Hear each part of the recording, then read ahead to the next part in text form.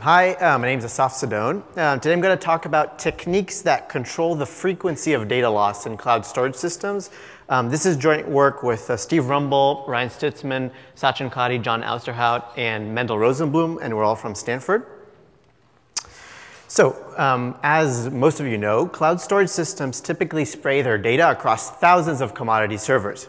Now, when you have thousands of servers, um, these servers die um, periodically, and um, there's a pretty high chance that you'll need to deal with these, um, with, with these uh, node failures. So one of the main goals of uh, data center storage systems is to tolerate node failures. Now, the common you know, approach taken by almost all um, uh, popular um, cloud storage systems is to randomly spray your data on three machines on different racks. Um, and this you know, prominently is used by Hadoop file system, Google file system, Windows, Azure, and also um, by RAMCloud, which is a system we're developing at Stanford.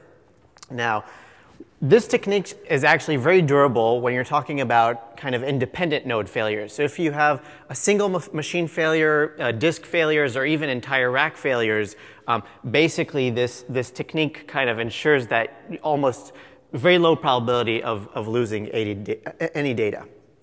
Um, however, unfortunately, not all uh, node failures are independent. Um, and correlated failures are quite frequent in cloud storage systems. And when I say correlated failures, what I mean is um, a number of nodes failing at the same time or unavailable for a large period of time. And these correlated failures uh, are caused by uh, various uh, different uh, effects. So for one, when you have a cluster-wide power outage, typically 1% um, of the nodes in at least commodity nodes in a data center do not um, come back up. Um, you can also have uh, large-scale network failures that would affect a large portion of your cluster, um, and you can have uh, software bugs. And there's even, you know, uh, instances when you lose access to several nodes at the same time because you want to actually power down several nodes at the same time. So for example, if you're running a rolling software hardware upgrade, or if you actually just want to power down part of your cluster, you're going to have a situation where some of your nodes are unavailable at the same time. And so in this talk, um, we'll focus on one particular type of failure, namely power outages. Uh, that, that is when uh, about 1% of the nodes um, do not reboot properly and you cannot, you cannot access their data, at least for a, a long period of the time. Um, however, the same techniques and concepts that we introduced in this talk can be applied to any type of correlated failure. Now what this graph shows, it shows the probability of losing all copies of at least one data chunk in the entire cluster on the y-axis. And on the x-axis, um, we plot the number of nodes in your cluster. And we did this for, we computed um, these probabilities for two systems, um, Hadoop file system and RAMCloud, both using a random replication. Now, as you can see, once your cluster scales beyond a couple hundred nodes, you're basically guaranteed to lose data under this scenario. And this effect has actually been confirmed uh, by several companies. So um, Facebook, Yahoo, LinkedIn, and, and several others have actually noted that every time they kind of have a power outage, they basically lose access to data. Um, and so what we'll do in this talk is actually focus on this problem and try to see how we can um, reduce these probabilities in different scenarios without impacting the performance of the system. So before we do that, let me just explain why um, these systems are so amenable to losing data under correlated failures. And so uh, as, as a kind of an example, let's take a cluster of nine nodes. So node number one uh, replicates a chunk, and it chooses two other nodes at random from the cluster. So it chooses nodes number five and six to store its data. Now from the perspective of a single chunk, the only way we'll lose data is if nodes one, five, and six fail at the same time. So let's add another chunk. Uh, now node number two replicates one of its chunks and replicates at random to nodes six and eight. And so again, the only way we lose data um, is either if nodes 1, 5, and 6 fail at the same time, or if nodes 2, 6, and 8 fail at the same time.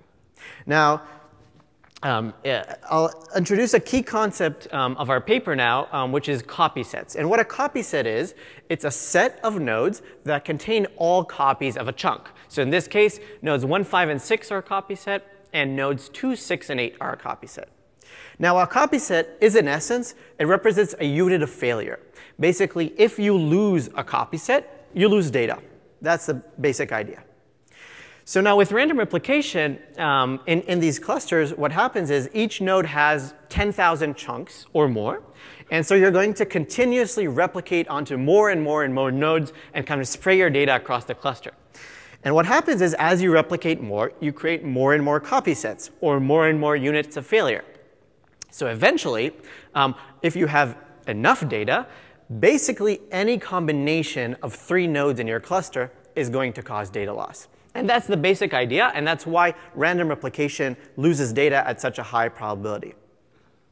And so if we kind of look at the math, um, so what, what happens is basically random replication creates more and more copy sets until it eventually creates the maximum number of copy sets, which is all combinations of three nodes in the cluster. So in a cluster of nine nodes, that's nine choose three, which is 84. And then let's take a scenario where three of our nodes, three random nodes fail at the same time the probability of losing data is going to be the number of units of failure, or the number of copy sets, divided by the overall number of combinations of three nodes. In this case, it's 84 divided by 84, which is 100% probability of data loss. OK, so that's kind of uh, one end of the spectrum. What if we wanted to minimize completely um, the copy sets or the units of failure and make um, uh, data loss very, very rare? So here's one approach we could take which we call min copy sets. And in this approach, we basically split nodes into groups of three. Um, so for example, nodes 1, 5, and 7 are kind of in the same group. And so every time one of the nodes in that group wants to replicate, it will deterministically always replicate onto the two other nodes. So for example, if node 5 is going to replicate one of its chunks, it's always going to place them on nodes 1 and 7. And same thing for nodes 2, 4, 9, and 3, 6, and 8. And so now what we did here, we basically constrained the replication of each node into a single copy set. And we kind of limited the number of copy sets that the system generates. In effect, this is like disk mirroring, right? You're basically creating identical um, uh, copies of, of nodes. Now, in this scenario, the only way we'll lose data, as I said earlier, is if one of the copy set fails simultaneously. So if nodes 1, 5, and 7 die, we will lose data. But in this case, we'll lose all of the nodes' data, right? So we'll lose actually much more data than before, but data loss will be much rarer. So Eh, if we look at the math, again, we only created three copy sets. And then if three random nodes from our cluster fail at the same time, the probability that we will hit that exact copy set is going to be only 3 divided by 85, which is 3.5%. And in other words, much, much smaller than 100%. Now, if we plot this scheme and kind of you know, apply it to a large cluster, um, and, and plot it on this graph, it's basically the, the exact opposite of random replication, right? You're going to get very close to zero probability of data loss under this um, correlated failure uh, scenario of, of a power outage. Um, and you kind of, you know, basically reduce um, your probability of data loss to the bare minimum. So what we're doing here in practice, as I said earlier, it's a trade-off, right? We're making data loss much more rare, but in exchange, every time we lose data, we lose more data or lose access to more data.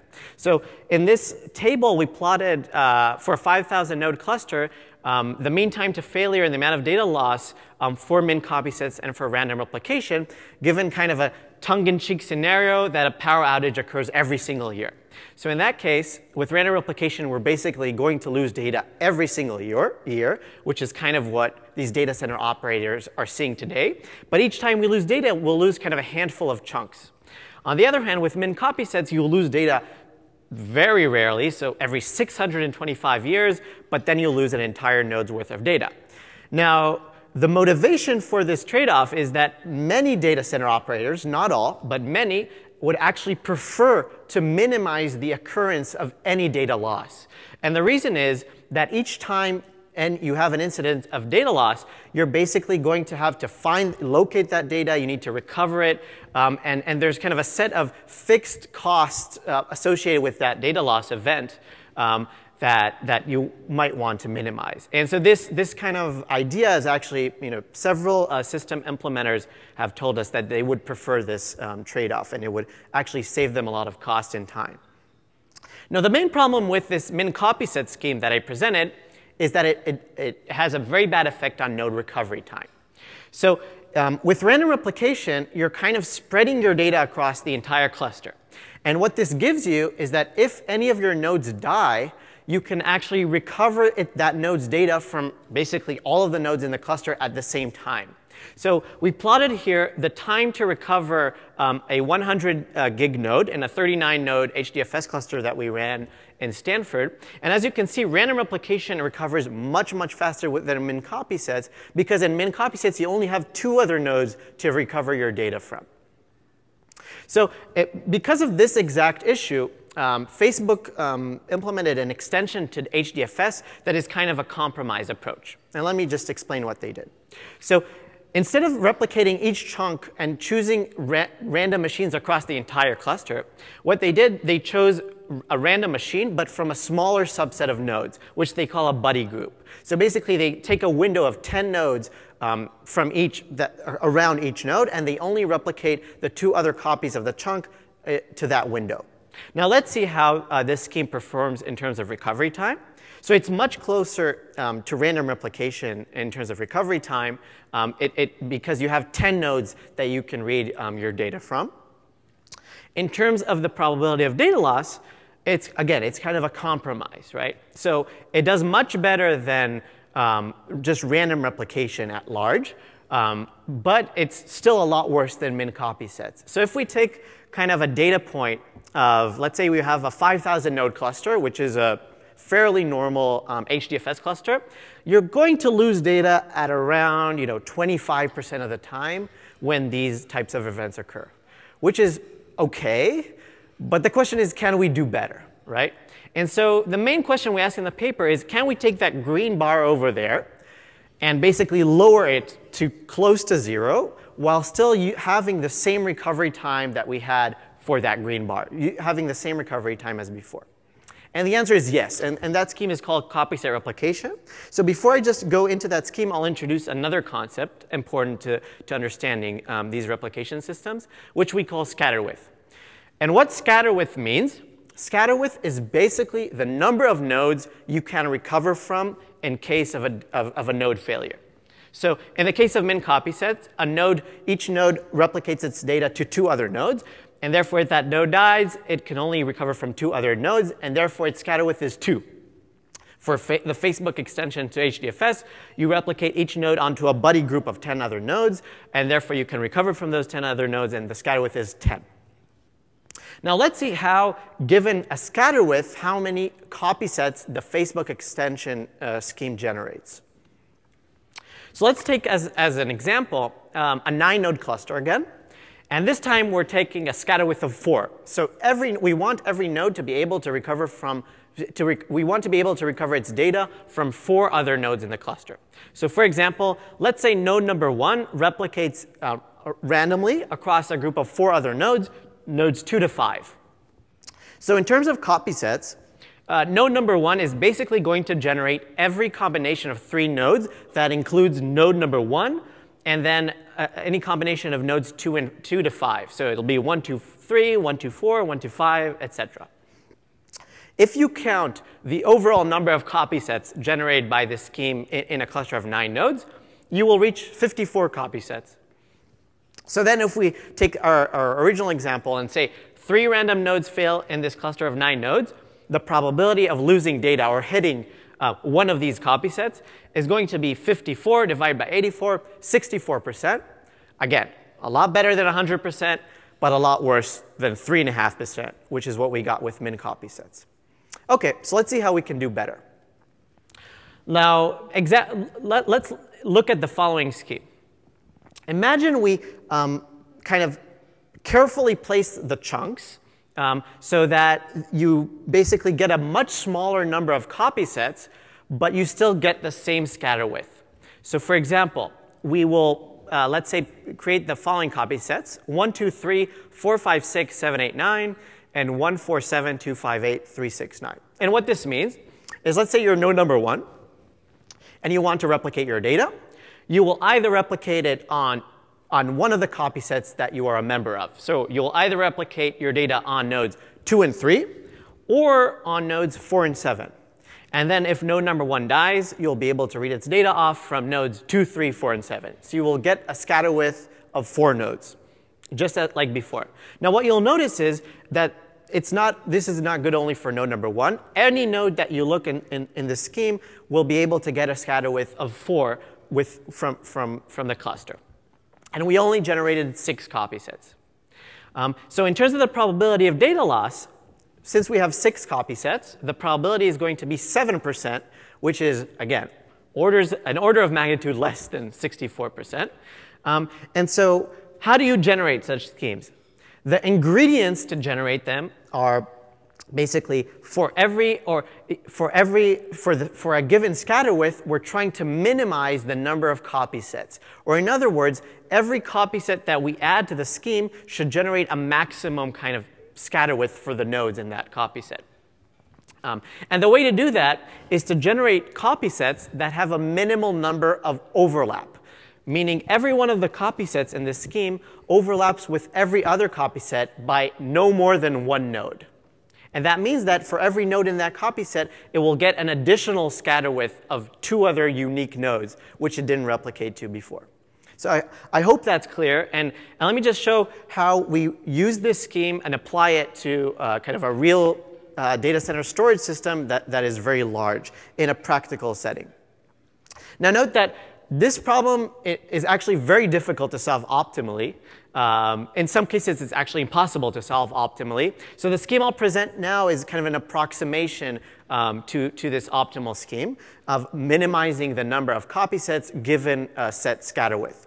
And this scheme is called copy set replication. It involves two steps. There's an initialization step, where basically you split nodes into copy sets. And then there's the replication step, which is what, when you actually replicate, which nodes do you replicate to. So in the initialization step, we take all the nodes in our cluster, you know, number them, um, and then we basically randomly reorder them. You don't have to randomly reorder them. You can actually reorder them in any way you want uh, in order to present, preserve kind of your failure domains. But for simplicity, let's just say you randomly reorder your nodes. And then based on that uh, random reordering, you split these nodes into copy sets, right? So we just go, you know, three by three and, and take that, that random order and split these nodes into copy sets. Now notice this first step that we did is kind of like min copy sets, right? Each node belongs to one copy set, and each node will get a scatter width of two other nodes um, that they'll be able to recover from. And then you repeat this process. So basically, you continuously create more and more permutations, um, kind of randomly reordering your nodes and splitting them into copy sets. And basically, every step along the way, you add to the scatter width of every one of the nodes. Now notice, this scheme will perform very well, or will be close to optimal, when you have a very, when the, the amount of scatter width that you want to achieve is much smaller than the number of nodes. And this is typically true for these systems. So typically these systems have thousands or tens of thousands of nodes, and the scatter width that you really need is, is usually not you know, 10, 20. Um, I mean, you usually don't actually recover from um, the entire cluster in these systems. Finally, on the replication phase, um, so again, like before, if node number 8, for example, wants to replicate, it will just at random choose one of its copy set, one of the copy sets it belongs to, and replicate to the two other nodes in that copy set. So we'll either replicate, in this example, to nodes 1 and 8 or to nodes 5 and 6. So that's, it's a pretty simple scheme. Um, and then we implemented this scheme on HDFS and RAMCloud and, uh, um, and showed that it actually has very little overhead. So First, let's take kind of that, that example that we showed before and compare it to the Facebook extension to HDFS, which was basically just randomly replicating across a, a smaller group of nodes. So as you'll see, in terms of overhead, it's pretty insignificant. By the way, this overhead would be zero if we had a larger cluster. So it's just an artifact of the fact that we have a very small um, cluster to work with. Um, and as you can see, I mean, in terms of recovery time, it's basically identical um, to, to the, uh, the Facebook uh, extension scheme. Now, in terms of the probability of data loss, which is kind of the main, uh, the main figure of, of, of this talk, as you can see, we basically drop the probability of data loss close to zero. Um, so you need to compare in this graph the green line and the pink line um, at the bottom. So basically, we take the green line um, and with exactly the same performance, um, ex pretty, the, exactly the same recovery time, basically reduce the probability of data loss under this correlated uh, failure event to close to zero. Um, and just because we constrained uh, uh, in, in, a much more careful way which copies, the number of copies that, that the scheme generates. Um, finally, just uh, one last thing I'd like to talk about is this scheme is actually uh, a trade-off, right? So um, as when you, if you want to be able to uh, reduce the recovery time for a single node, or in other words, increase your scatter width, you're always going to have to create more and more copy sets.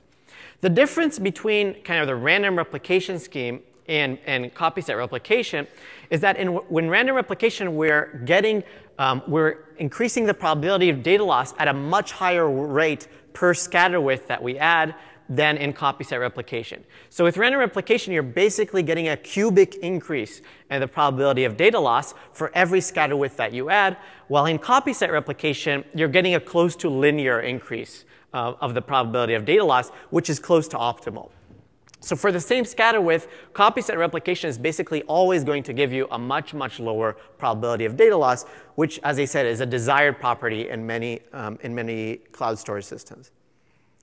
So finally, just in terms of related work, um, so this, the, the, these schemes, the, the, the, problem of trying to um, minimize um, the number of copy sets for a given scatter width is actually related to a pretty old field in, in, in uh, math uh, that some of you might be familiar with called um, combinatorial design theory and, and um, balanced incomplete block designs, um, which are basically um, similar kind of uh, combinatorial designs were, um, that were originally proposed for designing agricultural experiments in the 1930s. And these schemes have actually popped up uh, uh, a few times in, in other contexts um, in computer systems. Um, in terms of other applications, so um, first of all, um, you don't, there's another interesting application of, of power down. So anybody who's ever operated an HDFS cluster will probably tell you that it's kind of impossible to power down part of the cluster, and for the exact same reason that, that we're talking about in this paper, which is basically if you power down even a small set, subset of your machines, you're going to lose uh, availability to some data um, because there's going to be at least some cop there's going to be all copies of at least some data in that small part of machines. And so similar, people have explored similar ideas that kind of constrain um, the breadth or the scope of replication in order to better power down um, HDFS clusters. And these techniques that we showed in, in this talk can actually be used also um, to, to do power downs. Uh, finally, I mean, so people have used these uh, types of block designs in, in various domains. So um, in, in, the supercomputing world, um, people use it. It's the, the same problem of minimizing copy sets is actually parallel to the problem of trying to maximize the bandwidth given uh, a limited number of ports. And actually, just now, I've heard that th these ideas have also been used in RAID systems. Um, so it's interesting to find all these links. So just as a summary, um, as I said earlier, predominantly, the predominant form of replication today in storage systems is random replication, which is basically sp spraying your data across a lot of nodes. Um, this may cause you uh, big problems when you have a correlated failure because you're likely to lose data. And copy set replication is just a way that um, uh, lets you control the frequency of data loss um, and, and, completely control it uh, in your cloud storage system. So I'd be happy to take questions. Thanks.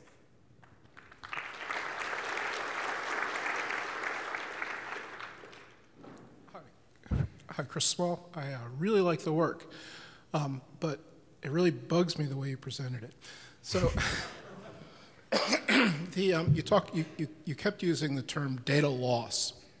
Now, data loss is what happens when you have a RAMCloud, but it doesn't happen when, when data's on disk. And all the examples you gave for system outages, Google, LinkedIn, Yahoo, those are places where they keep the data on disk. So do you, do you have any uh, similar statistics either for RAMCloud or for Facebook where they keep things in RAM and they care about things being in RAM? Right. Even in, by the way, even RAMCloud is a persistent uh, storage system, so we do keep backups on disk. Um, when, when I say data loss, uh, I, sorry I bugged you. Uh, the, probably the right. If, if you'd only said availability. Exactly. So you can you can. I would have been overjoyed. Right. So we, you can uh, switch, do a, a, search and replace uh, for the word loss and availability. Um, I'll just point out that most, almost all these systems also have another, you know, site. So they would have an additional data center, so they can always re reconstitute the data from that extra site. So when I say data loss, it's not really permanent data loss. It's long-term data availability. Um, so. But really nice work. Thanks. Yeah. So um, suppose I was more interested in the expected number of files that are uh, unavailable in a given year instead of the probability that 100% of them survive. What changes? It doesn't change. It's the same answer? It's the same. No, so I mean, the, the expected, that's a point that we make kind of in the paper, the expected amount of data that you will lose in the same year for this kind of simple model is going to be exactly the same under random replication or under any of these other schemes like min copy sets or copy set replication. So the expected data loss is going to be basically the same for correlated failures uh, under these specific scenarios. All we're doing is we're just making these failures a lot more rare, and each time you lose data, you're just going to lose more data. But the multiply of those two is always going to be constant. It's always going to be constant. We, I, I, even have that graph here somewhere. But, okay. Yeah. Hi. Cyril Guyot, HGST Research. Um, does your construction uh, extend to a case where the uh, cluster varies in size? So if you slowly add nodes, uh, does it change anything? That's a great question. Um, actually, uh, that's kind of a, small disadvantage of our scheme right now and part of what we're doing now in our uh, the future work. Um, the more you, if you add nodes kind of after you did that kind of static initialization phase, and then you continuously add nodes, actually the scheme will become a little less optimal as time goes by. Um, so we're now actually working on schemes that, that you know, are more optimal in that sense. But okay, thanks. It's a good question. Yeah. Carlos Maltzahn, UC Santa Cruz. Um, a related question, actually, um, or, or, comment, is um, I encourage you to look at our CRUSH paper at uh, Supercomputing 06 that actually has the uh, concept of failure domains in its uh, rule language for data placement and replication placement. And I think that would actually provide a solution for adding nodes to a scheme like yours has. Great. Okay, I'll be happy to discuss it too. Um, carrying over an argument from HotPar the last couple days, this would seem to be a victory of uh, a smart determinism over lazy non-determinism. That's a great way to put it, yeah.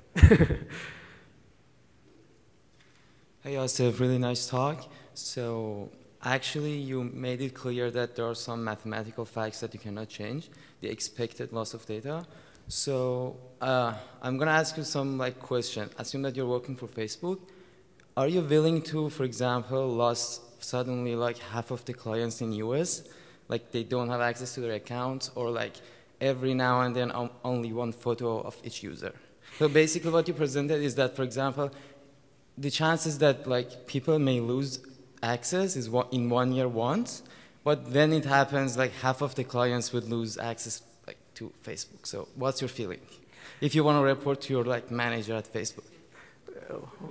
Um, well, that, first of all, that's why they keep another site. Um, but I think the it's, it's a good question. by, the, by the way, most of these systems aren't used, from what I understand, in like to service your pages necessarily, right? A lot of them are used kind of as back-end systems. Um, so in that context, it seems like you would basically want to lose data less. I don't think any of these failures actually affect your your data, your photos when you upload the page. But mm, you get the point. You're losing yeah. a lot when you lose, right? It's like you're gambling. The chances are always the same expected value of loss is the same, but when you lose, you lose big. So I'll, I'll quickly, most, uh, many times you, as kind of an operator, right, you want to operate under an SLA.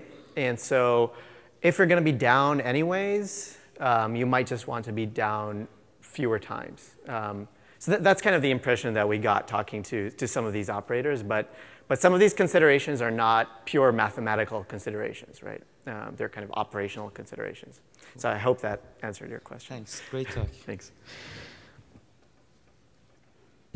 Hey. Uh, Okay, Uh, quick, quickly. yeah, it's not. A, Shekhar from Palo Alto Research Center. And are you taking care of uh, rack awareness in this replication policy? That's, I, Yes, I I so- that part. Um, yeah, so basically when you do these permutations, you can just kind of generate them in a rack-aware way, a way. So you can, that's what we actually did in our implementation. We made sure that two nodes from the same rack won't be in the same copy set, basically. Yeah, because that has impact on the performance. So Yeah, okay. yeah. So you can, you can, it doesn't have to be random. You can deterministically place nodes onto copy sets. You can basically do whatever you want in, in terms of how you split nodes into copy sets, as long as you don't have overlaps between the copy sets. Okay, thank you.